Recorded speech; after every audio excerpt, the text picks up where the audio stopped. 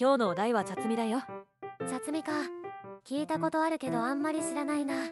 茶摘みというほど晩春から初夏にかけてのお茶の木の新芽が伸びる時期に新芽を摘み取る農作業の一つ日本では初夏の風物詩として認知されているね。あとは茶摘みの風景を歌にした茶摘み。という文部省唱歌も広く知られているよ。文部省唱歌。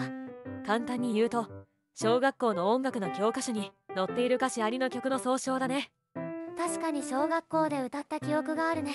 というか茶摘みという単語自体それでしかほとんど聞かないような気がする。ちなみに88夜は現代の暦で5月1日から2日のことでまさに今くらいが新茶のシーズンになるよ。ほう探してみようかな